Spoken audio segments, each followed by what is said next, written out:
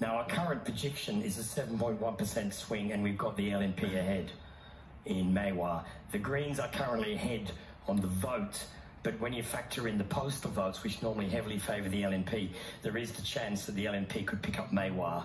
Uh, so that's that's on the current numbers. There's more counting to come, but that's potentially an extra street, extra seat for the for the um, for the LNP.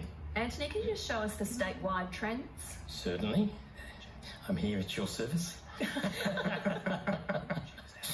The LNP Party's down to 32.6. The LNP is now just under 43, 9.6% for the Greens, 7.7 for One Nation. The change in primary vote is mostly 7% down, 7% up between the two major parties. And the two party preferred swing is 7.1%. So it's above that 5.7% swing we needed. And they've pushed that swing has been, if I clear that out, I'll go and have a look at the comparative swings between the regions.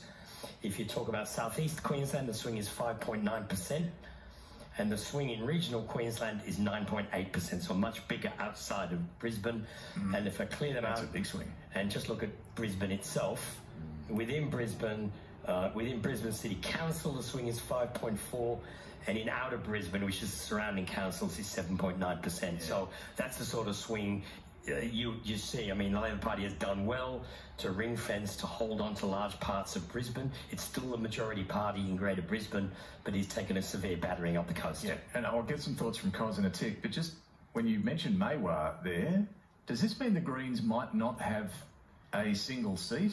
It is possible the Greens will have no seats after this election. Possible. I'm Wow. not predicting that.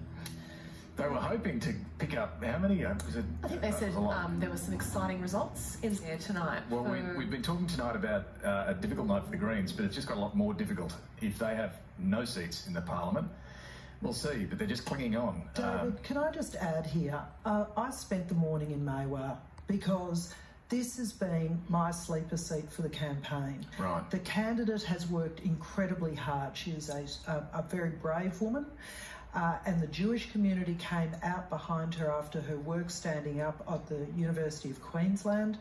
Um, after the protest there, she had um, volunteers speaking uh, in Mandarin to to uh, Chinese um, voters. I mean, they have thrown everything at this, and so Tash Winters uh, has worked against the odds in a place that nobody's been watching. Now, we don't know what's going to happen at the end of the night, but I just want to shout out to her because I think she is an exceptional candidate. Susan, we're starting to see some movement over at LNP headquarters. I'm told that the deputy LNP leader, Jarrod Bleijie, has arrived.